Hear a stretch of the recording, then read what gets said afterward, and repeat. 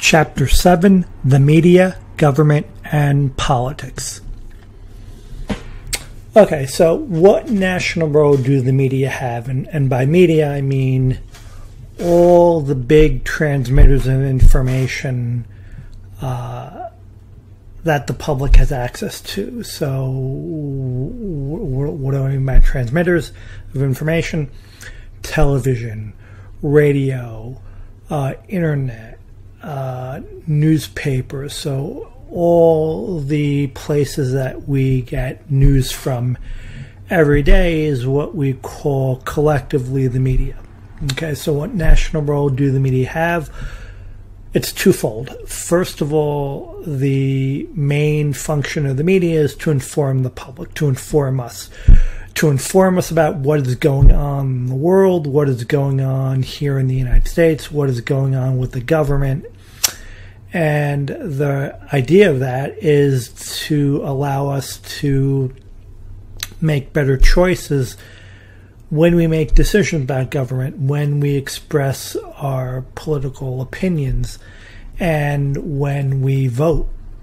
So uh, we need to know what government is doing. We need to know what uh, certain political candidates believe in before we vote for them, before we decide whether to vote for one particular candidate or not. Uh, we need to know what's going on to make a decision about whether a president who's been in office running for reelection should be reelected or not. And so all of that information comes from the media newspapers, radio, internet, wherever you get your news from. Uh, secondly, the media is there to serve as a watchdog in government. So, not just to uh, disseminate information, but actually to uh, dig deeper and find out what the government doesn't want us to know. Uh, often it's the government's secrets that we really need to know, things that the government doesn't want us to know, because usually those are things that are bad, right? If if if Donald Trump, uh, if there's something, if there's good news that Donald Trump wants us to know, or any president wants us to know, they'll come right out and say it. You know, it's very easy for us to get access to that kind of information. But if the government or a president does something bad, does something wrong, they usually try to hide it, right? That's just human nature. You try to hide your secrets, you try to hide bad information. And so the media isn't just there to inform us about things that are going on, but also to uncover these secrets, uncover bad news to let us know. Because again, uh, in order to have a really good functioning democracy, we need to have access to as much information as we can get in order to make good decisions, in order to be good citizens. So the media also serves as a watchdog on government. And some of the biggest, biggest government scandals uh, were uncovered by the press, by the media. Uh, one of the most famous examples of the media uncovering a huge scandal was in the early 1970s when the Washington Post, one of the uh, biggest and most famous newspapers in the United States uh, in Washington, D.C., uncovered the Watergate scandal, which actually led to the resignation, the first ever resignation of an American president, Richard Nixon, in 1974. Uh, so the Watergate scandal uh, started when uh, Richard Nixon was president, and it began in 1972, two years before Nixon resigned. And at that point in 1972, Nixon was running for reelection. He, he became president in 1968. Four years later, in 1972, he's running for reelection, and his campaign was uh, doing a lot of illegal things in an effort to make sure that Richard Nixon was reelected. And one of the things they wanted to do and tried to do but got caught doing was to break into the Democratic Party's national headquarters uh, to try to steal information, secret information, uh, from the Democrats that could help them uh, in their own election, in their own campaign to reelect uh, uh, Richard Nixon. So the Nixon campaign uh, and uh, there's no evidence that Richard Nixon uh, knew about it when it was happening or actually directed it to happen. He, it's not as if he ordered somebody to do it, but the the campaign, the Nixon campaign, uh, broke into the Democratic Party's national office which was in the Watergate building, uh, famous office uh, and residential building in Washington, D.C., which is why the scandal uh, has been called the Watergate scandal. And uh, the uh, the uh, the robbers were seen breaking in. they sh- they turned on the light. it was seen and the person who saw them called the local police. The police came, caught them in the act, caught the burglars in the act, and arrested them. And so the Washington Post uh, began to cover it, uh, cover the story, and look into it. Uh, first, only as a as a minor, a local uh, robbery, a local crime story. Uh, but then, uh, as the uh, reporters at the Post began to dig deeper into this, they discovered that the Watergate burglars, uh, had, who first was assumed this was a local burglary, had connections to the White House they had the phone numbers on them of people in the White House who were working for the uh, Nixon reelection campaign. So as they began to dig deeper and deeper, uh, two young reporters at the Washington Post, uh, Bob Woodward and Carl Bernstein, who ended up becoming very famous uh, because they uncovered the story and, and they, they ended up writing a book, which was made into a a very famous movie. Uh, they began to find more and more connections between uh, the supposedly local burglary and the White House and the campaign uh, to reelect Rick, Richard Nixon. And in the end, they uh, were uh, secretly given assistance uh, by an anonymous source who at the time was only known as Deep Throat, but who we now know was actually a, uh, a high level official in the FBI who knew all about what was going on and helped the Washington Post uh, uncover the scandal. Now, Richard Nixon didn't know, probably didn't know about it when it was happening, but when he found out about it, uh, instead of helping law enforcement uh, deal with this case, he actually tried to stand in the way of law enforcement and tried to use the CIA and FBI to prevent law enforcement from investigating this crime. Now, that is a crime in itself. That is what's called obstruction of justice. You cannot impede a lawful criminal investigation. And that's what he did. And, and because of that, because he broke the law, uh, Congress uh, began to move toward a process for impeaching him, trying to remove him from office. Uh, and right before he was actually impeached, he decided to resign because he saw that there was no way he would be able to survive uh, impeachment. And so rather than be kicked out of office, he decided to resign. So this Watergate scandal is a great example of how uh, the press, because of its ability to do what it does and what it's supposed to do, is able to uh, uncover scandals like this in a way that other American institutions uh, cannot.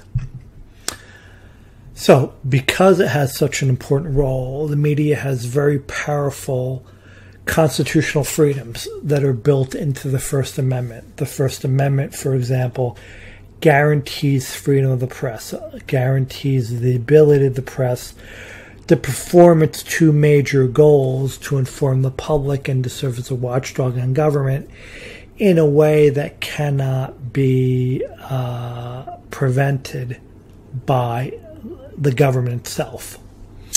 Uh, freedom of press is designed to protect the nature of democracy. Uh, it's designed to protect the ability of the the public, meaning you, from having uh, access to information. Protects us uh, and our ability to access information uh, from the media. The First Amendment prohibits government from passing laws that prevent journalists from publishing facts and conducting investigations. So, uh, the press is allowed to report on stories uh, as long as they're true. The press cannot openly lie, but they cannot be prevented from publishing facts and true stories no matter how bad those facts and true stories would be to the government or whoever else they're writing about. The First Amendment also prohibits government from engaging in what's called prior restraint. Prior restraint means to prevent a publication that the government does not want to become public. So, if the government discovers that a newspaper or uh, internet news uh, institution is about to publish a story that is going to make the government look bad, the government cannot do anything to stop it. The government can't pass a law to stop uh, that from happening. Uh, the government cannot threaten a, uh, a news news institution uh, against publish to, to not publish a story. Uh, a ver- very famous uh, example of this, uh, where the government did try to engage in prior restraint, but was prevented uh, from doing so by the Supreme Court, occurred in 1971, uh, a little bit before Watergate, and that case had to do with something called the Pentagon Papers. The Pentagon Papers were a uh, an analysis of the Vietnam War that was conducted by the uh, by the American government uh, and the Rand Corporation, which was a private corporation that the U.S. government uh, hired to conduct this analytical study of America's involvement in Vietnam. Uh, America was involved in the Vietnam War pretty much from the 1950s to the middle of the 1970s. Uh, it was a, up until Afghanistan, it was America's longest war. And so in the 1960s, uh, the war wasn't going so well. So the U.S. government decided to uh, conduct this major study to see uh, how the war was going and to try to determine whether the U.S. should keep fighting in the war, whether the war is winnable. The study came back and uh, was very critical of America's involvement in the Vietnam War and basically said that America shouldn't be involved in the war, that uh, that the United States military and government had made a lot of bad choices and uh, and that it really wasn't going to be prepared to do the kinds of things that were necessary uh, to win the war. But despite the Pentagon Papers, despite the study uh, having said that, what the government was publicly telling the American public was the exact opposite. The U.S. government was telling the American public that the war was going well, that America was winning and that America just needed to be in it a little bit longer and it would win. So, in essence, the American government was lying to the American people. Why? Because it didn't want to admit that the war was was uh, not going badly, Uh, and the American government at the time, in the 1960s, starting with Lyndon Johnson and then going into Richard Nixon, ne- neither of those two presidents, Johnson or Nixon, wanted to be the president who gave up on the war. They didn't want to have to take the blame and have people criticize them for giving up and losing the war. So, uh, because of that, both the Johnson administration and then the Nixon administration openly lied, knowingly lied to the American people. So in 1971, a one of the people uh, who was working at the Rand Corporation, who was involved in putting together this uh, study, this report, uh, was fed up with the fact that the American people were being lied to by the public. He took a copy of the Pentagon Papers, smuggled them out of his office because this was before the internet, before email. So if you wanted to uh, uh, wanted to uh, uh have a copy of a document, you really needed to have a hard copy. So what he did was he photocopied uh, a copy for himself, and he smuggled it out of the Rand building, uh, the his office and he gave it to the New York Times. And uh, so the New York Times started to write a big story about this these Pentagon papers. And uh, one of the things that a newspaper like the New York Times and Washington Post will do when they're writing a big story like this that involves the government is they will inform the government that they're writing the story and that they have these Pentagon papers and ask the government for its side of the story. Right? You, in order to have a balanced newspaper article, you need to have both sides of the the issue uh, have an opportunity to uh, give its say. So when the government found out that the New York Times had a copy of this top secret uh, document, they uh, first warned the uh, New York Times that they would uh, use the law to punish the New York Times if it posted a story, and then they tried to go to court. And so the New York Times backed down, but then uh, the New York Times decided to uh, give the give a, a copy of the uh, the report to the Washington Post, and the Washington Post then pub- started publishing uh, one story, two stories, and then the government then tried to go after the Washington Post and they sued the Washington Post, and the, and the case went all the way up to the Supreme Court. And the Supreme Court ruled that the First Amendment did not allow the government to do what it was doing. And, and the First Amendment said that what the government's trying to do here is what's called prior restraint, and that's not allowed. So uh, this Pentagon Papers established the Supreme Court precedent that says that the government cannot engage in prior restraint. It cannot stop uh, the uh, uh, the media from publishing a story that hasn't published yet. That just because the government doesn't want it uh, to.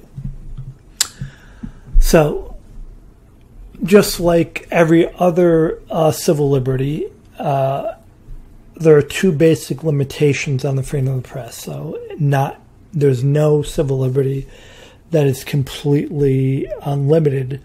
Uh, you can't yell fire in a crowded movie theater, right? So there are two basic limitations on freedom of press. One is libel, which is very similar to slander, which I talked about when in my lecture on civil liberties.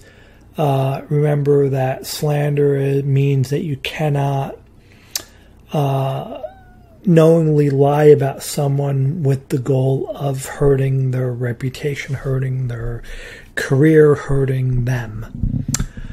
Libel's pretty much the same thing, except that instead of saying something, it's written. So, uh, a newspaper, for example, cannot knowingly write something that's a lie about somebody with the intent to hurt them. Uh, you cannot use the media to lie about someone with the intention of hurting them. So uh, uh, that's libel. Okay. Uh, another limitation it, uh, includes certain instances where the protection of individual privacy is considered more important than the public's right to know. So, for example, many states uh, have laws that prevent the media, that prohibit the media from publishing the name of a rape victim.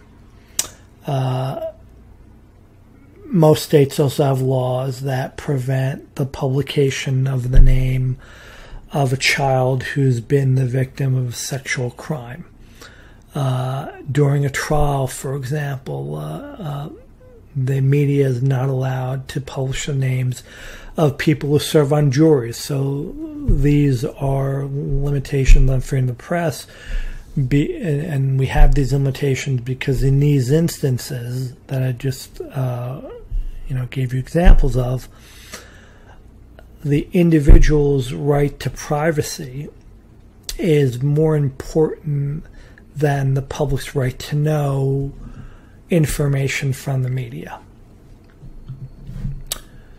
Okay, so what is the mass media? And, as I said before, media is a news source that reaches a lot of people. So mass media is is a, is is a news source that reaches a mass of people, a lot of people at once. Uh, so let's talk about the evolution of mass media in the United States and and in what stages people were what what certain mass media, what types of mass media uh, people had at their disposal to get information from the very beginning of the United States. Uh, so the first real mass media outlet, news source in the United States, are newspapers which have existed as long as the United States itself has existed. And uh, there were even more newspapers back then than are today. Here in New York, we've only have a handful of of uh, major newspapers: the Wall Street Journal, the New York Times, the New York Post, the Daily News, and other smaller newspapers that exist. Uh, back 100, 200 years ago, there were even more newspapers in New York City. So, newspapers at first and for a very long time were the only uh, real news source that people had at their disposal. So, most people got their news, well, all people uh, got their news from newspapers, and even people who couldn't read uh, would get access to the news because people uh, would go to coffee houses or bars, say in New York City, and read the newspaper out loud so that people who couldn't read could hear the news. Uh, so, newspapers have existed all the way back to the very foundation of the United States uh, in the 1780s.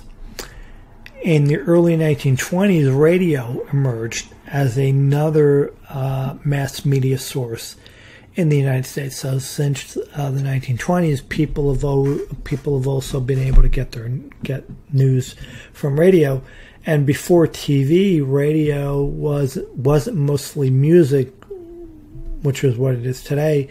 It was actually more talk radio. People uh, uh, and one one source of talk radio was news uh, reporting.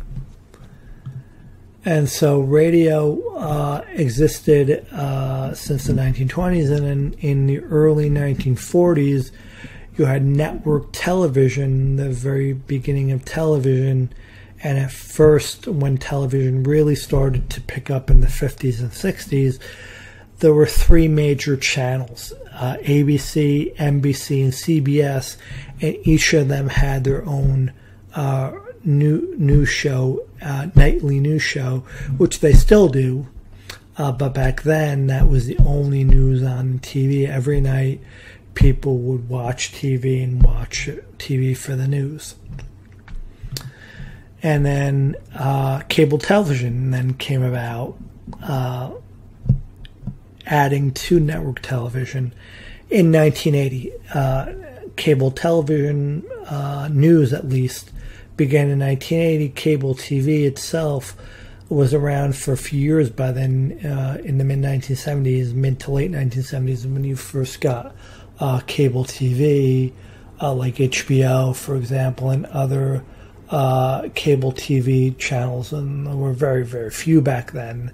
Unlike today, when where there are hundreds, uh, the very first cable TV uh, n- news channel, 24-hour news channel, was CNN, which uh, was started by a guy named Ted Turner in 1980 and uh, that was a really big thing. I mean, imagine uh, well, first of all, uh, television, uh, the idea of 24 hour television kind of new itself.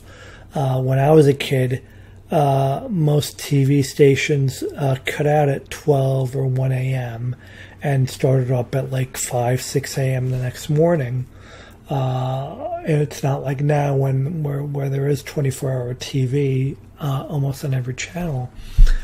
so the idea of a 24 hour station that would be devoted completely to news was quite a remarkable thing, and it really did change the way news was uh, reported because you not only had straight news on CNN, but you also had analysis and uh, political analysis that could be that that often became skewed uh, either in favor of conservatives or favor of liberals. So you had the beginning of partisan news on TV, at least.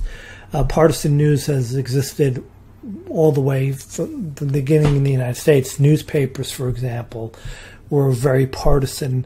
Uh, major uh, political parties had their own newspapers that often printed the news from their perspective radio also the same, but but the first real uh, partisan uh, cable news happened with CNN. Network television was pretty much straightforward, just facts, not really any political analysis or politically tinted analysis.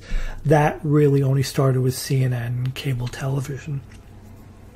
And then so CNN started off, and then uh, about 10 years later in the in the 1990s you had MSNBC that got created and then uh, and then CNBC which was devoted to uh, business uh, news and then Fox News which came about because uh, Fox News uh, Rupert Murdoch the Australian billionaire who started Fox News here in the United States felt that uh, the American media was too liberal, that the American television, cable TV media was too liberal, so he decided to create a more conservative news source uh, to cater to conservative viewers, and that's where you that's where we we came up with Fox News. And then in the uh, mid to late 1990s, you had the beginning of the internet. Internet 1.0, which was based on uh, just sort of static websites that weren't very two dimensional, it was only one dimensional. You got on the internet, you read your news, and that was it.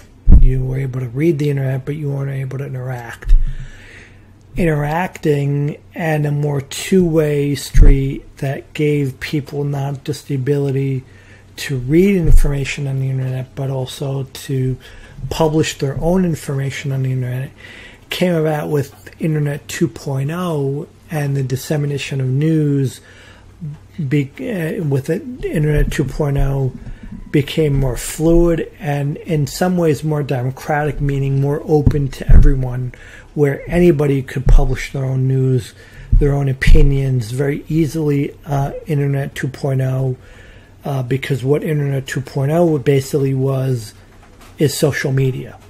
Facebook, Twitter, Instagram. Uh, Facebook uh, was created in 2004. Twitter came about in 2006, two years later, and then four years after that, in 2010, you had Instagram, and then now you also have Snapchat and all these other uh, social media sources that allow people to uh, interact with news sources, to comment, to engage, to publish their own opinions uh, on Facebook, on Twitter, and uh, have it reach, in some cases, uh, hundreds of thousands of people, uh, millions of people. Even Barack Obama, for example, has millions of followers on his Twitter account. So when Barack Obama decides to post something political on, on a political opinion on uh, Twitter, it's instantly seen by millions of people who then can retweet it, which means even more people can see it.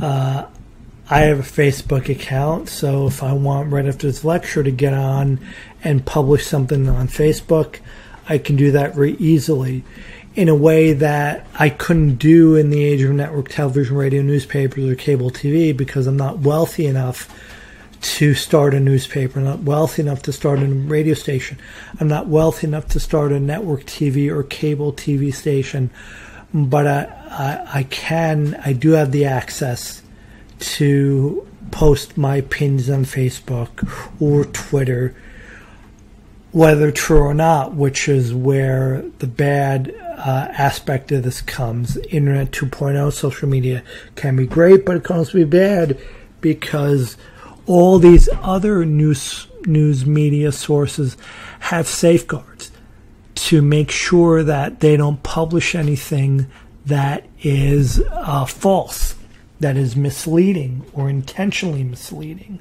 especially if it's intentionally misleading. However, the social media companies uh, have always been very reluctant to play referee to decide if something is uh, accurate or inaccurate. Twitter has only recently been starting to do this. Facebook has only recently been starting to do this. And it's caused a lot of political tension because conservatives believe that uh, social media uh, is more uh, apt to censor them than they are liberals. And that may be true. Uh, so conservatives conservatives think they're being picked on by the social media companies. Uh, so Internet 2.0 is a great thing because it allows people like you and me to publish news and to publish ideas or to create a podcast on YouTube for very little money. Uh, but uh, it's also bad because what if that podcast is designed to purposely mislead people. Uh, that can cause a lot of harm, uh, physically, emotionally, politically. Uh, it can cause a lot of harm. Now, so, uh, you know, as I sort of got into this uh, just a, a second ago when I said that conservatives believe that the, the social media and really all media is, is too partisan, is, is too anti conservative. Uh, the media is often criticized, especially by conservatives, for being too partisan. But as I said before, the American media has always been partisan. Newspapers have always been partisan since the beginning of the Republic, since the beginning of the United States. Uh, so, uh, yes, the media is partisan, but it's always been like that. This is not as if it's a new problem. Uh, but in some ways, you could argue that the media has now become even more partisan, and that's because of cable TV and the internet. Cable TV and the internet have changed the way news is delivered, have changed the way people get their news because there are now so many more avenues for news because of this democratization of news that I talked about in the last slide. if more and more people have cheap or even free access to publishing in the media, you're obviously going to get more media sources, and those media sources are going to be partisan. Some are going to be pro conservative, some are pro liberal, some are pro socialist, some are pro anarchist.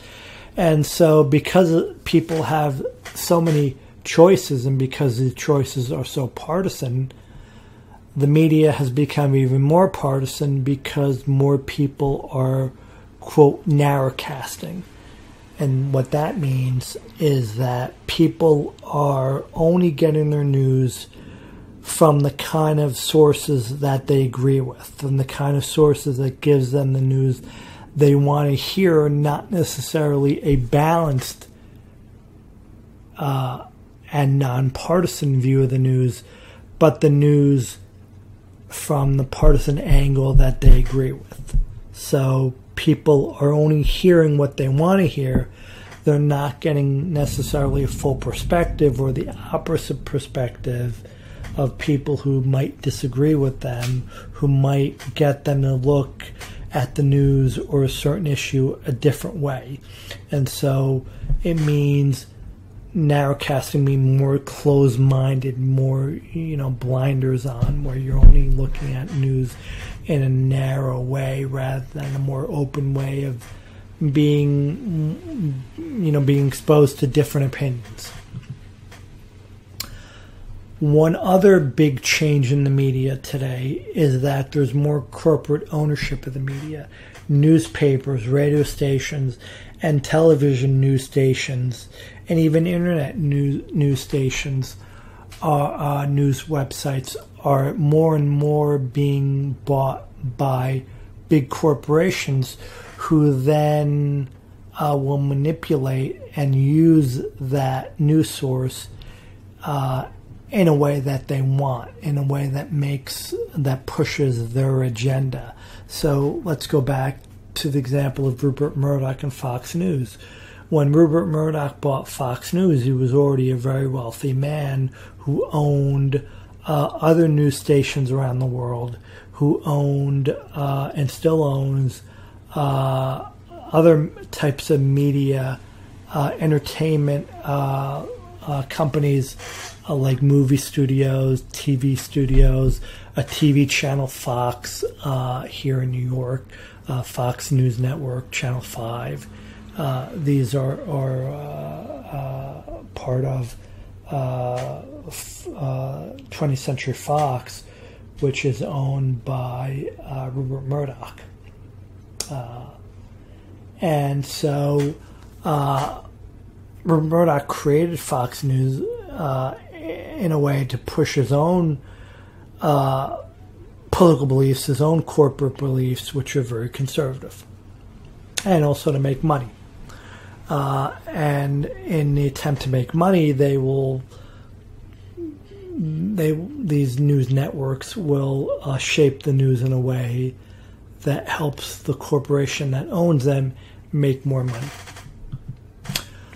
Uh, now, because of this, because of corporate ownership, because of the explosion in the number of uh, news sources, media sources, there's also now uh, a propensity for a feeding frenzy to occur whenever there's a big story. And what I mean by feeding frenzy is a, a big, huge competition between uh, news outlets to be the first to report on a story. Because if you're the first to report on a story and you can continually advertise that your newspaper, your radio station, your TV station always gets the newest news first, the biggest news first, then more people are going to watch your station. And if more people are watching your station, that station can charge more for advertising, and that's how they make money through advertising. Uh, that's how Facebook makes its money from advertising. Right? Facebook doesn't charge and has never charged people to join. So, how do they make their money? Advertising. So, all these media outlets make their money through advertising. So, the more people are watching means the more people who are watching the advertisements, and that means that the stations, the TV stations, the newspapers, radio stations can charge more money for the advertising minutes. And the more money they can charge, the more profit they make, the more money they make. So the feeding frenzy is designed to, is, is, is, is a reflection of this desire to be first. But the problem with that is that in the uh, desire to be first, many times uh, news outlets will report information that has not been properly verified. And so they will report things initially that may not be true. Not because they're lying, but because they haven't checked it out, for example. So, for example, uh, on 9 11, September 11, 2001, there were lots of rumors going around, lots of stories that were reported that turned out to be false. So, for example, there was a story early in the day, not long after the uh, World Trade Center and Pentagon were attacked, that the State Department, uh, that a bomb went off in the State Department. There was also a rumor that a car bomb went off on the George Washington Bridge. That didn't happen uh, but it was still reported in, in news media because some reporter heard the heard the story and went on TV and reported it as though it happened, even though they hadn't properly checked it because they wanted to make sure that no other reporter got the story first, reported the story first. So, in the uh, race to be first, you can often make mistakes, and, and that's what's called the feeding frenzy, like pigeons that will run after a piece of bread if you throw it from a park bench. Uh, they all want to be the first to get to the bread, same way that news uh, newspaper uh, uh, uh newspapers, newspaper reporters, TV reporters, radio reporters want to be first. That is the end of this lecture. I will see you for the next one.